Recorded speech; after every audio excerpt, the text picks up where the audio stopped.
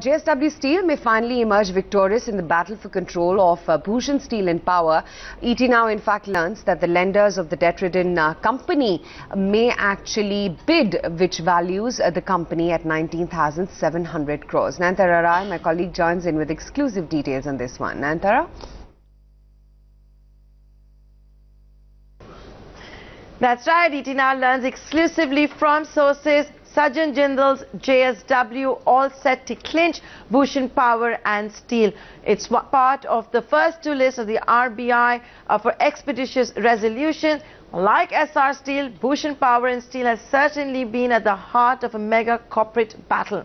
What we understand is that at the end of a two-day e-voting process, more than 66.6% of the lenders have voted in favor of JSW and its revised bid of 19,700 crore rupees. I'm going to add a big but here because if there's anything I've learned in the recent past reporting on insolvency and bankruptcy code, never rule out twists and turns unless an asset is actually handed over and all the paperwork is done.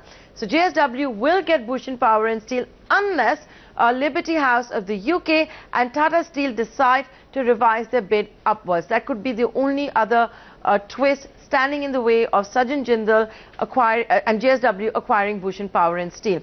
As it is, this particular asset, we've seen a big battle, as I told you. At one time, it looked like Tata Steel was going to get... Um, Bhushan Power in a bid 17,000 crore rupees. But then came Liberty House from the UK, said we are not from India. We got confused between Bhushan Steel and Bhushan Power and Steel and therefore missed the deadline. The courts allowed that bid to be uh, considered by the lenders. And then JSW also decided to increase its bid. It put the highest offer on the table at 19,700 crore rupees. Tata's had knocked on the doors of all the way till the Supreme Court were unsuccessful. So let's see how this one pans out. But this is very important to JSW also because, you know, it hasn't been a big winner in the entire IBC process.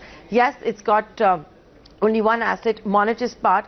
Uh, it's trying to bid solo for Essar Steel and if it does want to do that, it's going to have to bid more than 42,000 crores. It lost Bhushan Steel to Tata Steel, uh, which can allow Tatas to overtake JSW to regain lost glory and be India's largest steel maker. So let's see how this one goes. For now, JSW seems to be the big winner.